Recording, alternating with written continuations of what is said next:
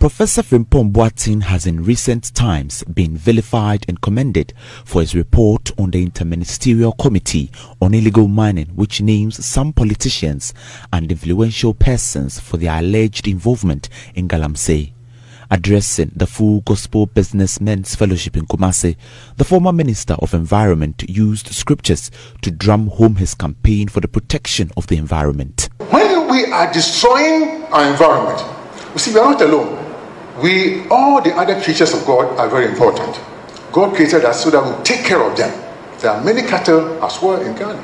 So we have bears that take care of the dead animals so that we don't get sick, vultures and so on. When was the last time you saw a vulture? Because if you attack, vultures need tall trees, and, and these animals and these bears.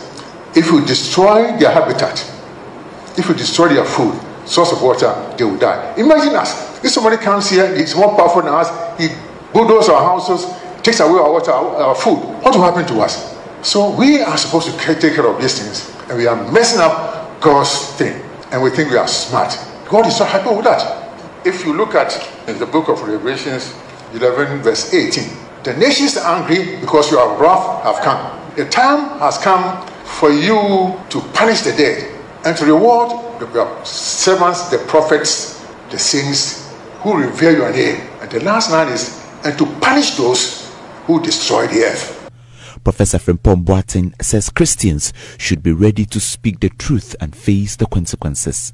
These are the things that make me who I am, standing for God. So, my point is that if we could get Christians, not many, good people, yeah, thousand is too much for Ghana who will get up each morning and say, Lord, thank you for giving me life.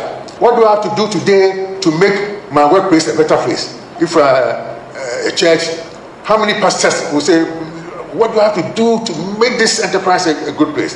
Taxi drivers, what do I have to do to make this job good so that my madam or my master, shopkeepers, this. And then you do what you have to do without any selfish motives. This country will change.